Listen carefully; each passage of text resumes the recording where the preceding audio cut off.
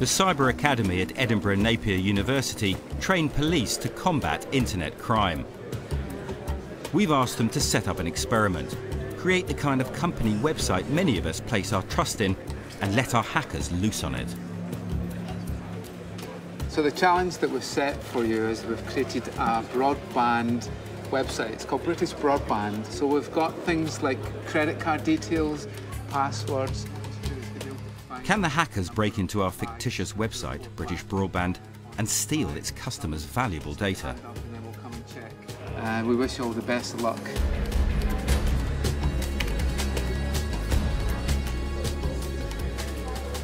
How long are you expecting them to take to get to the databases? Or... We would think in total to find all the vulnerabilities will take between two and, and four hours.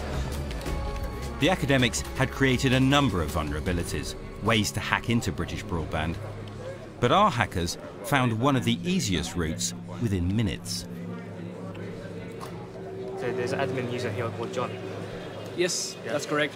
So we found one of the usernames for the database.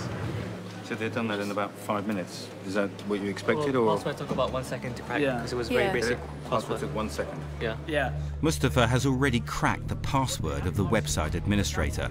Most passwords are easy to hack because most of us use similar passwords, and the hackers know it. A few minutes later, British Broadband's customer details are up for grabs. Got the credit card details. You got credit card details now. Oh. Did you find that surprisingly easy? No, I found it unsurprisingly easy. Unsurprisingly easy? Why so? Because it's not surprising how easy it is. I think it shows how easy it is sometimes for intruders to get into databases if the credentials are not protected properly. So they've got access to all the information on the database, but they don't have total control?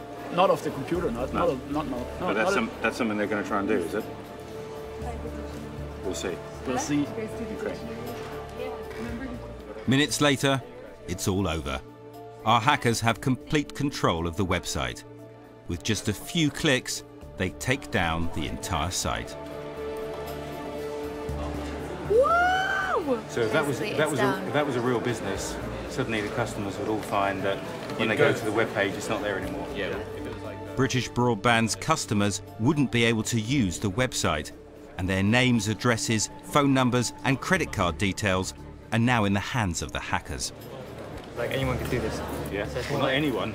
Yeah, anyone could do this. So like, it was a, easy. A five-year-old could do this. Five-year-old. Yeah. Yeah. Mustafa, how do you feel about the suspended sentence? Um, I have to go now, so I can't really talk now. In 2013, Mustafa was given a suspended prison sentence for attacking the Serious Organised Crime Agency and the CIA. He is now one of the good guys and currently completing a computer science degree. Yeah. So how typical was that website in terms of its defences? It's extremely typical. Yeah. A lot of credit card details are hacked in that way.